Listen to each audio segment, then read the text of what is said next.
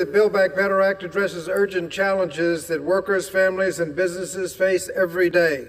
With provisions just within the jurisdiction of the Education and Labor Committee, the bill makes child care affordable and secures universal pre, uh, preschool for three and four years, year olds, lowering the costs of working families and boosting our economy by helping parents re-enter the workforce.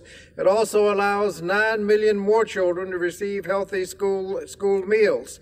It lowers the cost of prescriptive drugs, and it lowers the cost of higher education. And through investments of high quality job training program, it gives workers more opportunities and enhances the skills of our workforce.